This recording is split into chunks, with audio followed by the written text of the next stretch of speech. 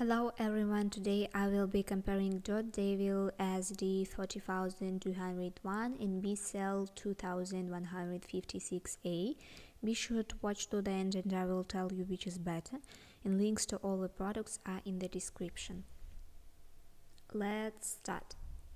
Suction power of Dirt Devil is 10 amps, in Bissell 9 amps, Dirt Devil he is winner. Weight of Dirt Devil is uh, 12 lbs in Bissell 8 lbs, Bissell his winner, cord length in Dirt Devil 20 feet, in Bissell 15 feet, and Dirt Devil his winner.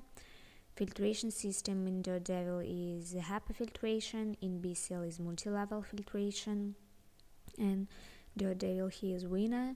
Dustbin capacity 1 and 5 liters in Dirt Devil and 2 liters in Bissell, and Bissell his winner. Corded his tie Additional features is telescoping wand, variable speed control, in Bissell is lightweight, easy to empty dot tank and its tie. Uh, design and maneuverability in Dirt Devil is compact, easy to store, in Bissell is compact, lightweight, easy to maneuver, and Bissell is winner.